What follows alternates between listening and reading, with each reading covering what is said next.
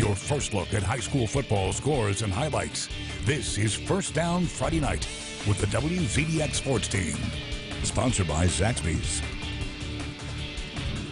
And we are in attendance again for another edition of First Down Friday night. And with the chill in the air, who can't be excited about high school football around the Tennessee Valley? I'm Mo Carter, and she is Kayla Carlile. Yeah, the cool temperatures were definitely a good thing. I know a lot of the teams were definitely feeling that good temperature today as they were fighting for a playoff position in week seven of the high school football season. Absolutely. Now, we've got lots of games coming up tonight for you. You can also check out all of the scores scrolling on our ticker. We'll start off tonight in Class 7A. Last week's Sparkman knocked off Austin from the realms of the unbeaten and jumped into a tie atop their 7A Region 4 standings. Now awaiting Sparkman tonight was Bob Jones. The Patriots trying to play spoiler tonight at Madison City School Stadium. We'll pick things up with a crazy sequence, Kayla. This pass by Sparkman's Nick Sawyer is tipped and intercepted by Trey nice. Lockhart. And the guy who rocks the same number that I wore in college picks up some nice yardage for the Patriots to go the other way.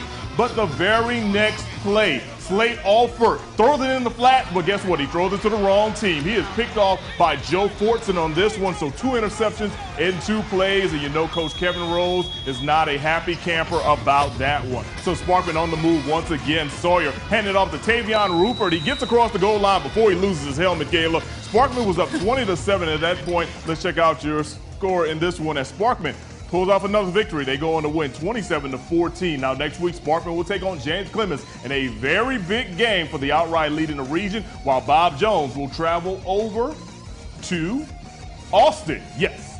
Now, speaking of James Clemens, they were in action last night at Milton Frank Stadium. Now, of course, they are the other undefeated team in that region. We'll pick things up for Grissom. Their quarterback, Jacob Foss, connects with Elijah Johnson for the very nice pickup right here. Unfortunately for the Tigers, that was one of the best plays of the night. In punt formation, Ricardo Zimmerman mishandles the snap, and the Jets recover the ball well inside of Tiger territory. Well, that would turn into this. The run by Tyreek Walker on the end of the round, and he's going to find pay dirt right here for the first touchdown. Extra point was good. The Jets soar to a 7 to nothing lead. Let's go to the beginning of the second quarter. Jets putting together a very, very good drive. They handed off to Dylan Blackburn, and this guy picks up some great yardage in the first down. Then, here's a quick pass to Dante Snodgrass. He gets to the hair of the end zone. But guess what? The Jets on the very next play, they push it over the goal line for another score. James Clemens goes on to trounce Grissom by a final of 63 to nothing. Next week, as we talked about, James Clemens and Sparkman for the outright lead in the region. Grissom, they'll take on Florence. Let's tell you about another game as well in that region as Austin went on to win by a final 45 to 16. Um, of course, as we mentioned, Austin's kind of playing the waiting game now in this one. But next week, Austin will host Bob Jones while Huntsville travels over to Gadsden City. Kayla, now I'm going to send it to you. I'm back again. All right, two of the hottest teams in North Alabama squared off tonight in Gurley. This game was a big one as Madison Academy, the fifth ranked team in Class 5A, traveled to face Madison County. The winner takes over the top spot in the Class 5A Region 8 Championship Series. Let's go ahead and get into these highlights real quick. We're going to go early in the first. QB Austin Mills hands the ball off to running back Mecky Burdett, and the former first down Friday night MVP of the week picks up a nice gain. Three plays later, Austin Mills hits Quamaine Gamble, excuse me, on the post route for the easy score. Tigers go up 7 0. He can't be touched, Mo. No, and of course, you know, the band. Look at him. He goes up to the student section and the band doing what they do best. They pump up the crowd in this whole situation. I love when the student sections are in the I do zone. too. I just, that's got to be a good feeling when you can run right up to them. From the next possession, Avery Seaton, another former MVP of the week, is pressured in the pocket. He tries to go deep. He's going to get picked off by Gamble. Tigers now have great field position. But a few plays later, Austin Mills, he's going to go deep down the sideline with two open receivers and Gamble hauls it in for the second touchdown of the evening. Tigers go up 14 nothing. How do two wide receivers get wide open behind a defense? right, you can't ask for anything more than Absolutely. that, right? Madison County's woes continue though as Avery Seaton is again picked off. Ball pops right up, and this time it's by Ramiro Towers. He tries to run, but he gets taken down. But no problem because it's going to lead to another Austin touchdown pass. Check this one out. This one goes to Emmanuel Fletcher, and our camera person also was knocked out in the process. I'm sure they were just fine. Hopefully, Madison County, though, goes up 21 nothing in the second. But let's go and check out the final score of that game. It looks like Madison County goes on to win 49 to 21 next week. Madison County travels to Arab Madison Academy goes to Scottsboro. We've got an entrance scenario now between County, Academy, and Scottsboro. A, we'll talk about that next week. A lot of Madison in that too. But let's go ahead and check out Braly Stadium, Florence, hosting Gadsden City. Fourth quarter, Falcons up 17 to 3 on the Titans until Demarcus Macon hits Shakari Embry over the middle, and Embry takes it in for a 43-yard score. That makes it 17 to 10, and Florence is still up. Now Falcons need a play, and they go with their playmaker on this one. D. Beckwith is going to get the ball, and he calls his own number. D. Beckwith, a phenomenal athlete. He goes right into the end zone. You think he gets taken down, though. No, he doesn't get taken down. That's like he keeps going into the end zone like it's nothing. He breaks multiple tackles en route to a 35-yard touchdown. But let's go and check out the final score of that game. Florence goes on to win by a final of 24 to 10 next week.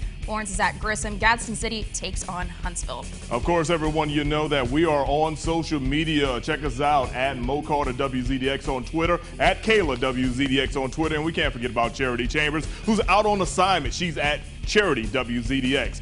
Shoot us a tweet. We may read it out loud on air. Yeah, guys, but don't go anywhere. There's plenty more football action coming your way after the break. You check out our handful of more schools, plus we'll show you who's taking home our Spirit of the Week. We'll be right back.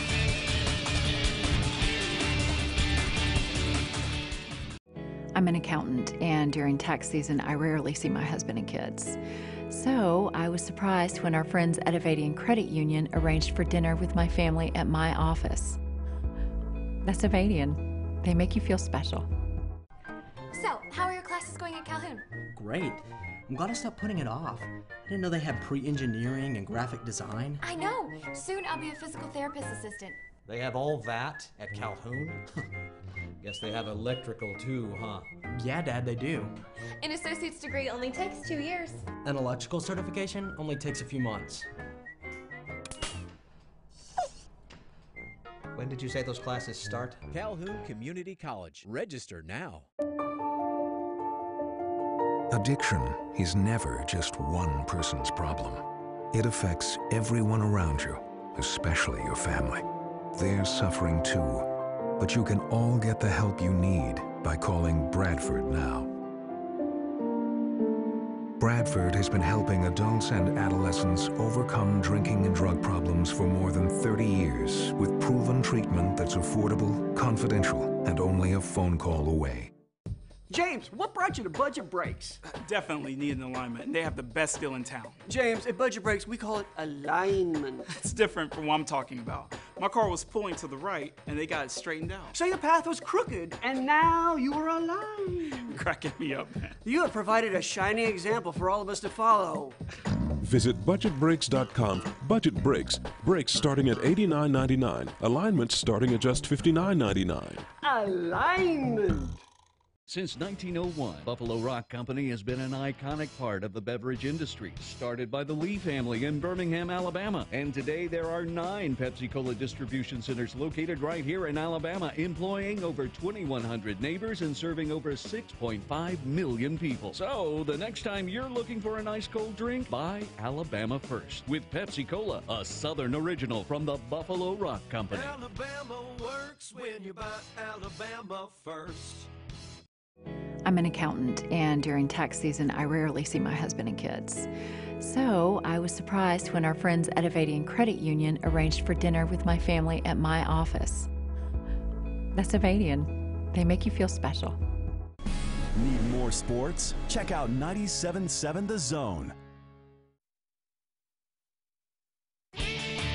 Now back to the action on First Down Friday night.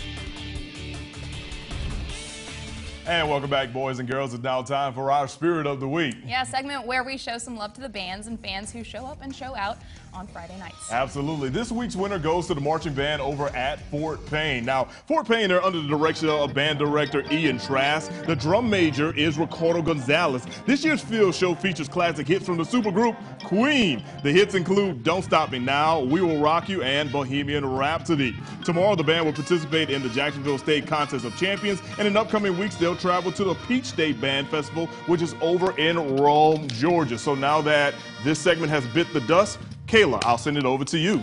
All right, back to some football now. Last night, Danville hosted their second matchup with DAR, a team that's only won two wins, or only who only has, excuse me, two wins under their belt this season. Last year, Danville lost this game, so let's go and see how they fared last night. And the, uh, the Hawks are leading Region 7 right now with four wins and three losses, so a win last night would keep them up front. Let's go into the first quarter, though. Patriots with the ball. Justin Stubblefield looking for someone, and it looks like he finds that someone. It's Martius Leonard who catches it in the end zone. Score sits at 7 0. Hawks have an answer, though. Luke Nail makes a pass down the middle to Ethan Sapp, and he's out of here. No one is around him. No one's no going to touch him. nope. And the Hawks tied up at seven apiece. So now we take it into the second quarter. Nail with the snap, but he's going to get picked off by the Patriots, and Leonard makes a good run, and he gets a first down. The Hawks, though, are ready to return the favor. Stubblefield, feeling the pressure, he rolls out, and he goes for the pass, but it gets intercepted by Moore.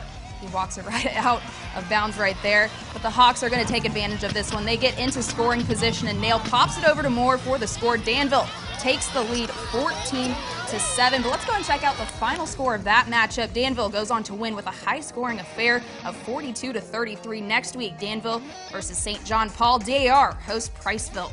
All right, another game in that region featuring St. John Paul and Randolph. Out of the green smoke come the Falcons. They're led by our current First Down Friday Night MVP of the week, Seth Brown. Now, most times, Caleb, I say, what can Seth Brown do for you? And that's throw touchdowns. But right here, he's got the razzle dazzle. Look at him. Just put on the afterburners, juke a bunch of people, and he still has it going down. Stiff arms the guy. Eventually picks up 30 yards and gets them down to the red zone. That would set up this. Angelo Hunter takes a handoff right up the middle, and he won't be denied the end zone. Touchdown, Falcons. They're on top, seven to nothing. Now, Randolph, they would drive the length of the field on their first drive, but facing fourth and goal, they go for it. Nick Strong takes the handoff, but that Falcons defense is stronger. They stop him on the two yard line. St. John Paul will take over. Fast forward to the second quarter. Falcons on the offensive. Hey, Kayla, what can Brown do for you? I hope it's a touchdown, Mo. Absolutely. He throws a touchdown pass to Brian Moss, wide open right there. 14 to nothing at that point. Let's check out your final score in this one. And the Falcons roll to another victory by this time by a final of 48 to 13. Next week,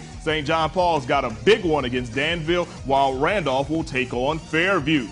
All right, everyone, uh, we've got an impressive varsity game of the night, which included some very nice pink jerseys for a very great cause. Stay tuned for that, which is next.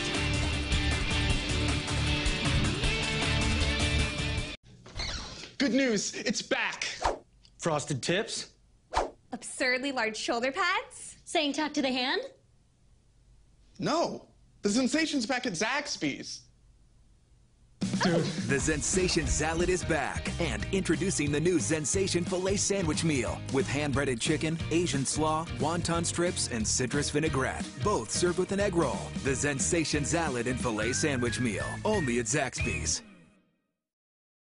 Tired of struggling with regular mirrors that don't adjust so you can't get close enough? You need Flexible Mirror, the bendable, light up magnification mirror that comes to you. Just stick it on and turn the base. The super suction locking mechanism means you can put it on any smooth surfaced place. Lock it onto any mirror, table, or desk, even on a window. The secret is Flexible Mirror's super strong articulating arm that's attached with an ingenious ball and socket so it can swivel and rotate for the perfect angle. The mirror is precision crafted with 10 times magnification and crystal clear optics. You can get flexible mirror for the special TV discount price of just $19.99. It comes with our 90-day no questions asked money back guarantee. And we give you free shipping on your entire order. Here's how to order. To order call 1-800-329-6934. That's 1-800-329-6934. Or order online at tryflexiblemirror.com.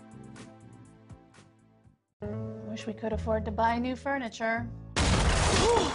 What is this? It's your breakthrough from Conn's Home Plus. Conn's Low Payment Finder finds the lowest payment tailored to you, good credit or building credit. Wow! And now, during Cashbacktober, get up to $500 cash back on your furniture purchase, plus an additional $200 cash back when you combine it with a TV. And get Cashbacktober offers store-wide all month long.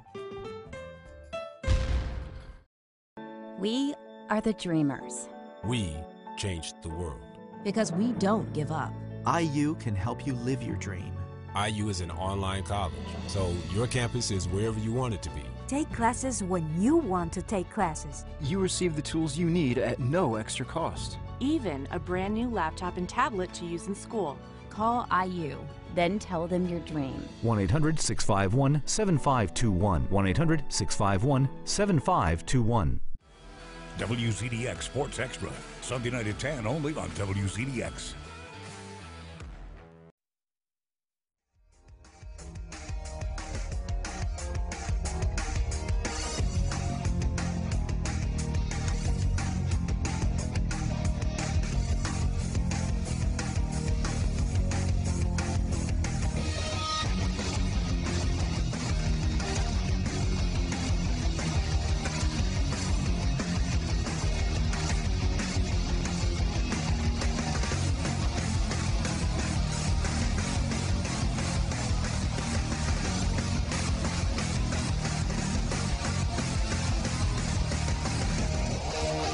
Looking at some of those scores, I just see a lot of offensive numbers. Five, man. Yeah, five just keeps on rolling. Those scores. exactly. All right, everyone. Well, this was a very special night over at Hazel Green for two teams in the Tennessee Valley. As Hazel Green's head coach Joe Shrink decided to pay it forward to the Trojans' opponent, Mae Jemison. Yeah, one Jaguar coach has been dealing with a cancer diagnosis, but not for himself or his one year old daughter. Now the Trojans are looking to raise money to help out a fellow football family. So, in honor of young Kinsley, tonight's game was designated the Pink Out game. Each Hazel Green player wore a pink jersey with the name of someone they know who has been affected by cancer on the back. Before the game, each player honored the person they recognized while also bringing awareness to the deadly disease. The school also had a handful of fundraisers throughout the night that benefited St. Jude's Hospital. Coach Schrank says that the idea is something he's done for a while now. So even though we're in a pink jersey, it's not just breast cancer. It's whatever. Pink is just kind of what everybody associates with it. And so um, on our helmets, we have the gold ribbon, which is pediatric cancer, which is Kinsley. So that's pretty cool. We've had that on now for a couple weeks. And the lesson is life is more than about us and it's more than about football. So let's help people along the way. Now, that was also our varsity game of the night. Now, great turnout for tonight's event, and there's a young Kinsley, the star of the show tonight. She was named the captain of the game. Oh, now, cool. like we said, the entire Hazel Green team was recognized with their loved ones, and even a couple of the players took that opportunity to honor Kinsley.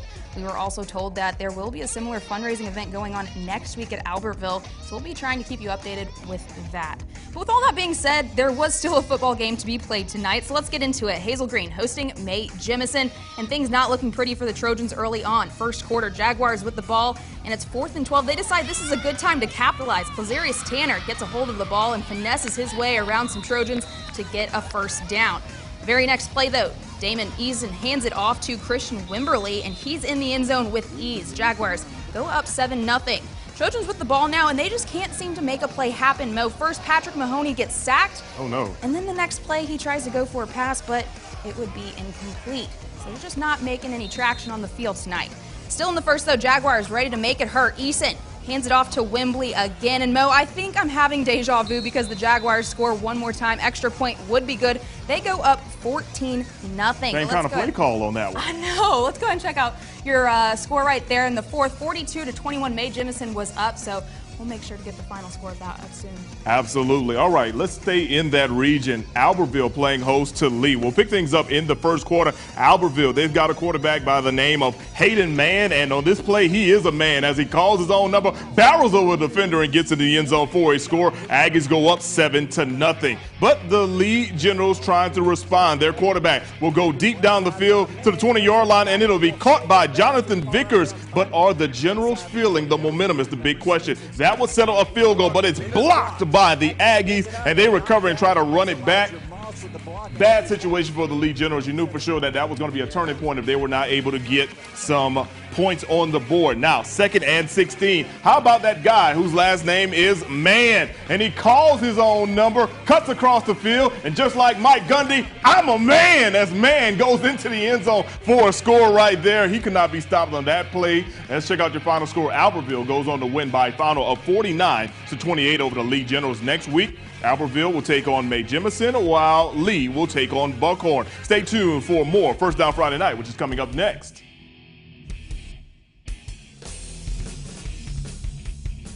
Attention, all women who have been diagnosed with ovarian cancer. In February 2016, a manufacturer of talcum powder was ordered to pay $72 million by a jury to a woman who died of ovarian cancer after 35 years of using the manufacturer's talc based products. Multiple studies show that women who have long term use of talcum powder in products such as baby powder or feminine hygiene can increase the risk of contracting ovarian cancer. If you or a family member have been diagnosed with ovarian cancer and used talcum powder prior to the diagnosis, call Talcum Powder Alert today. You may be entitled to substantial compensation. The consultation is free, and you'll pay nothing unless there is a recovery in your favor. So if you or a loved one used talcum powder based products before being diagnosed with or died from ovarian cancer, make the call today. Please call 800 660 1494. That is 800 660 1494. Do you know what your child is doing online? WZDX knows that protecting children is a top priority. Dangerous online predators pose a very real threat to our young people. But together, we can help protect them. The CyberSafe Parent Program from Redstone Federal Credit Union, SAIC, and WZDX is your resource to combat online threats. Look for special features on WZDX News and visit RocketCityNow.com to learn more about keeping your family cyber safe. I'm Officer Scott Savitt, and this is CopCam, a wireless security camera smaller than one square inch, so you can hide it anywhere to record anything, anytime motion is detected. CopCam shoots in incredible high definition and includes a powerful microphone to record perfect audio. With a motion sensor, it only records when it needs to. Then simply upload to your computer. Call now, and you can get CopCam for only two easy payments of $19.99. Order now, and we'll upgrade you to our CopCam Elite with six built-in infrared LEDs to record even at night. We'll also send you our swivel clip to turn your cop cam into the best dash cam, body cam, or action sports cam. And it's free. And finally, an 8 gigabyte memory card, also free. Call or click now and you can double the offer. Just pay a separate fee. You can get all this, but you have to order now. Call 1 800 944 3589 or visit bycopcam.com. So call 1 800 944 3589 now. Catch my latest pinpoint weather forecast on the go. Download the WZDX weather app today.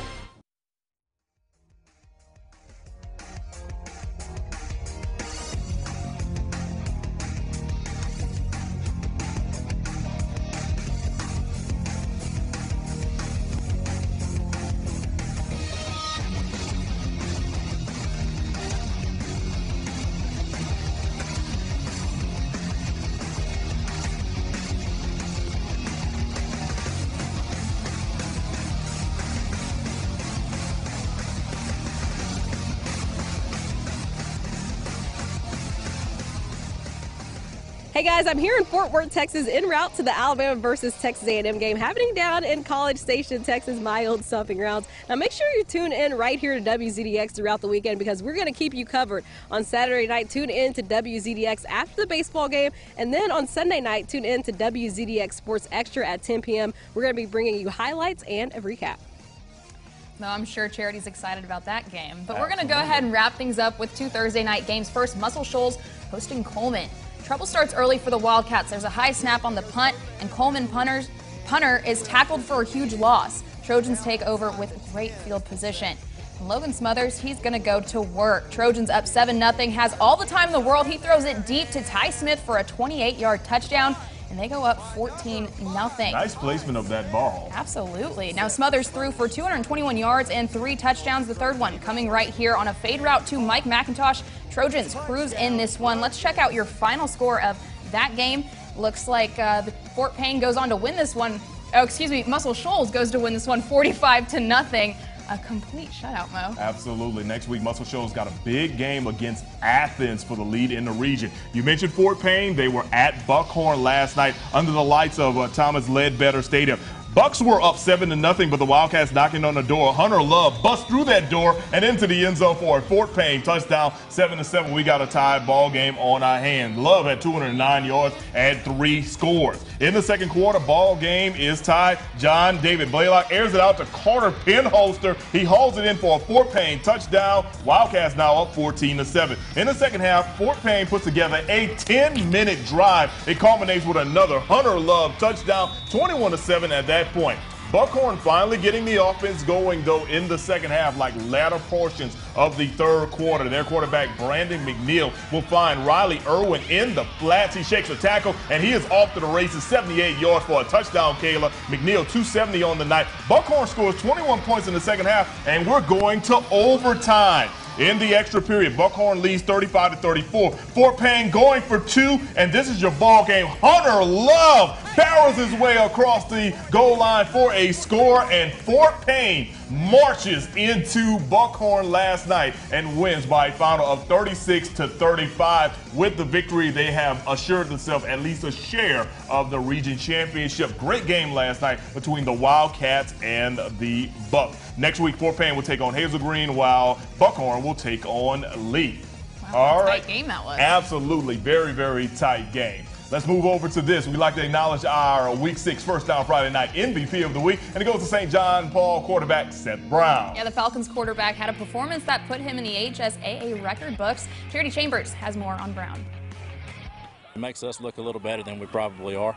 Uh, he gets us out of trouble, and uh, you know he's a great leader for our team, and our, our guys rally behind him, and uh, and they follow him every night, and he's he's a warrior back there. St. John Paul II Seth Brown may be small in size, but his game is far from it. This past week against West Morgan, Seth scored seven total touchdowns, five through the air and two on the ground. We- We've seen him play really good games before, and I think this was probably his most complete game as a quarterback. Uh, he threw completions to seven different receivers, so we spread the ball around really well. Um, Sean Zarko had another game like he's been having. Uh, Angelo Hunter had a big performance from receiving. Um, but we always know what Seth's potential is, and uh, he just did a good job. Uh, he trusts what he saw out there, he trusts his reads, he trusts his teammates, and he, he went and had another good game. Seth passed for 520 yards and rushed for 94, helping lead his team to a 49 to 36 victory over the Rebels. Well, they said they were going to play our receivers straight up, and that means that we just go to work and let my receivers do the magic. Our team is full of playmakers, so whenever I get the ball in their hands, that they can do whatever they want and uh, score a touchdown with it. Congratulations to Seth. Now, nominations are open for the next First Down Friday Night MVP of the week. If you think you know a deserving athlete for our First Down MVP award, what do you do? You got to just send us an email at news at rocketcitynow.com with the player's name, school, position, and Mo, they cannot forget the stats from their last game. That is a big deal. Make sure you send those stats. Absolutely. We want to know what the person did last week. It, it's helpful. Right, right, right, right.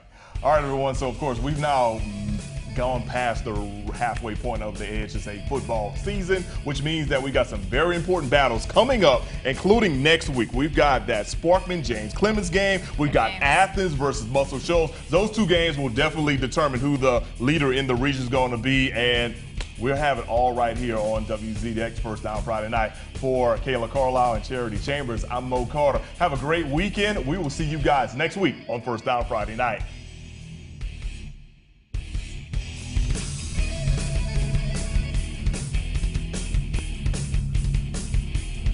You've been watching First Down Friday Night, sponsored by Zaxby's.